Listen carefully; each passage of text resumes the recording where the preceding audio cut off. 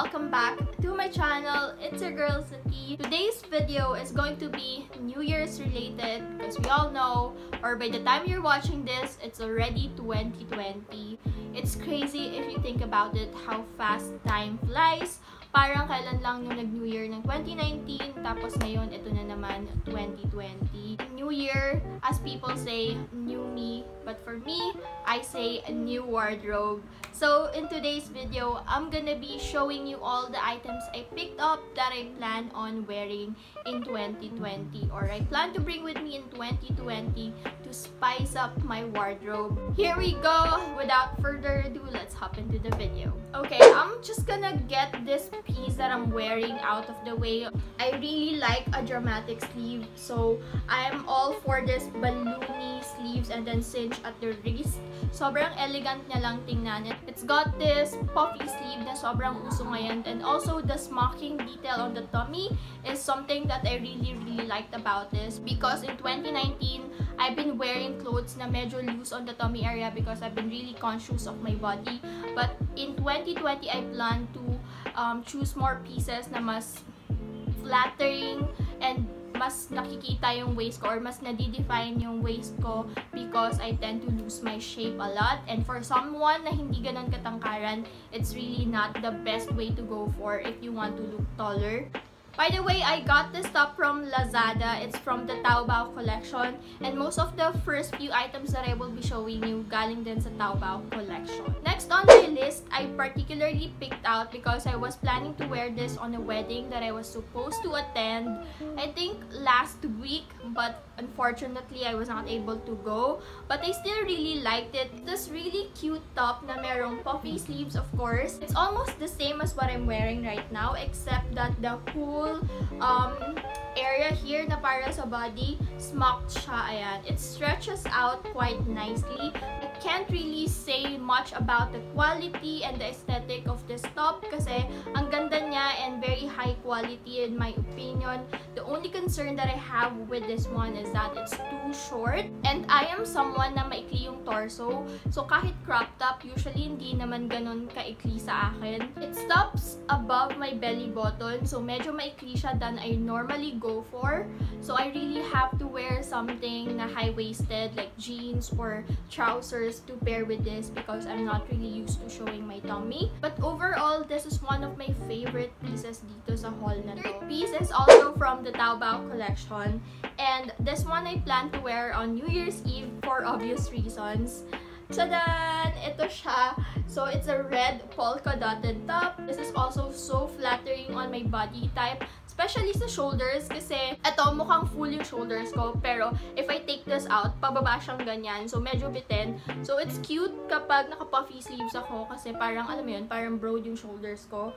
This one stops just below my abdomen. So, okay lang yung length niya. Hindi siya kasing ikli nitong una kong ipinakita. I can wear this with a regular pair of skinny jeans. Super, super love this top as well. Next item, and still to go with that smock trend, this is the only item that I picked out from Forever 21. It's a regular tank top. Only the whole body, including the straps, is mocked. As you can see, it stretches. I really like this top because although the design of it is very trendy, can still pass as a basic piece because white lang siya and you can put this under a blazer, jacket, whatever, or you can just wear it on its own. The only issue that I have is that the straps are too long for me. Medyo, ayan oh, parang kailangan mo siyang hilain pababa for it to sit properly dito sa may shoulders mo. Yun naman talaga yung lagi kong issue sa mga Forever 21 tank tops. Masyadong mahaba yung straps nila. But anyway, I plan to wear this under things or layer this with things so it doesn't really matter. Backstory before I show you the next few pieces. I was looking through my closet when I cleaned it out a few days ago and na-notice ko na sobrang konti pala ng mga basic pieces ko. So, it's difficult for me to create outfits on a daily basis because all I have are trendy outfits or statement pieces. Wala akong masyadong basic pieces na pwede kong i-mix and match with my other items. So, I decided to pick out um, some basics from H&M. So, let's start with this black long sleeves. Meron na ako nito actually. I just picked out the second one because yung una ko, matagal ko na siya nabili. So, medyo namumuti na siya. Borderline kupas na siya. I got it on sale which is always a bonus. So, love love this one as well. Next, I also picked out some t-shirts. So, I have a black and a white t-shirt. These are just basics that you can throw on when you're feeling lazy. Itong mga shirts na to, hindi naman siya ganun ka-regular looking though. Medyo cropped siya and cuffed yung sa sleeves niya. So, instantly, parang stylish ka na or parang very relaxed yung look na binibigay niya, which I like for my basics. Next item may come as a surprise for those people that work with me on a daily basis because ang tagal ko nang hindi nagsusot nito. So, this one is a skinny ankle length skinny jeans from H&M. So it's in this blue wash. Very classic if you ask me. I haven't worn a proper pair of skinny jeans for, I would say, two or three-ish years na because I've been losing and gaining weight in the span of like two to three years so it's difficult for me to find the right size and also the fact na wide yung hips ko tapos maikli yung legs ko is difficult I know dun sa mga ganun yung body shape, alam ko na alam niyo yung struggle. Kapag nagsa-size up ka dahil hindi ka siya sa waist mo, humahaba siya. So, ang ending niya, sobrang haba niya to the point na hindi na maganda fit. So, I just pick out trousers that's easier for me. So, finally, I found something that actually fits both my hips but is also not too long on me and the price is just right so I'm really happy that I found this jeans from H&M so love that for me so we're down to the last few items and these are the items that I picked out from Taytay but oh my god guys going to Taytay during the holidays is crazy I mean yung normal na punta sa Taytay, gawin yung times 3 or times 4 sa dami ng tao. It's super like chaotic.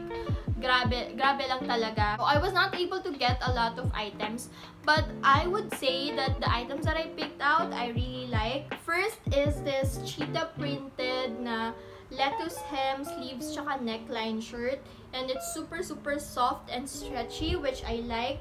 Also, this is not too cropped. This is okay. It, it's like a t-shirt fit pero mas flattering on my body. I really like this because it's a statement piece.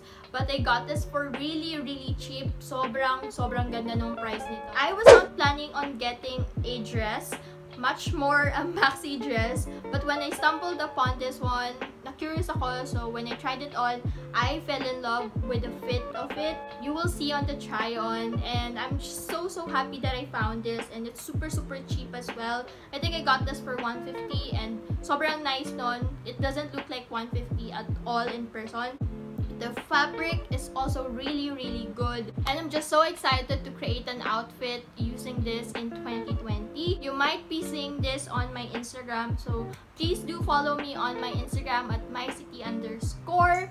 And that's it for today's video. I'm really happy to be back. And Happy New Year to all of you guys. I hope 2020 will bring so much blessings and happiness to you all. And like I always say, may you all have clear skin and happy hearts. Bye! One, two, three, funky.